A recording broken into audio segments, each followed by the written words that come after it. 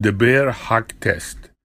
The bear hug test examines a tear in the subscapularis, especially the upper part of the subscapularis.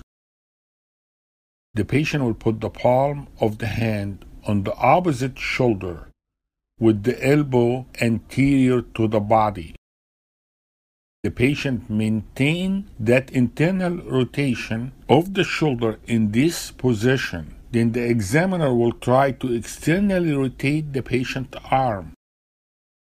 Positive test result is shown when the patient will show weakness of the arm compared to the opposite arm.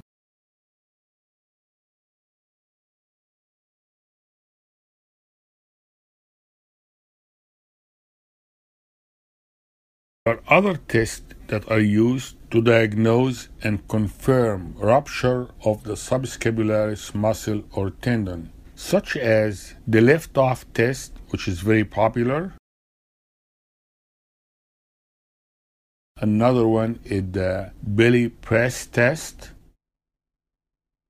And on exam, you can find the patient will have increased passive external rotation of the shoulder. Subscapularis tear could be missed. It can be a hard diagnosis. And if it is missed, the patient will have major disability.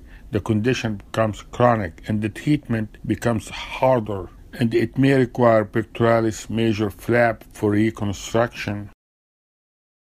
There is also association between subscapularis tear and the biceps tendon medial subluxation.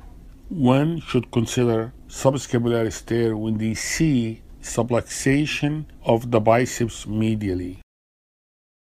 Thank you very much. I hope that was helpful.